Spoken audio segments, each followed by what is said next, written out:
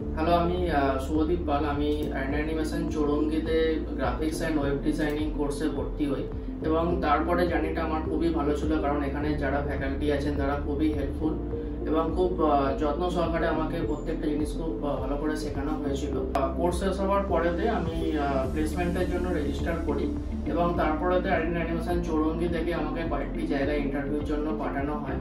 এবং ফাইনালি আমাকে অ্যান্ডারসন চৌরঙ্গি থেকে প্লেসড করা হয় গ্রিন প্যাকেজিং ইন্ডাস্ট্রিতে এবং এখন আমি গ্রিন প্যাকেজিং ইন্ডাস্ট্রিতে as a graphic designer job করছি।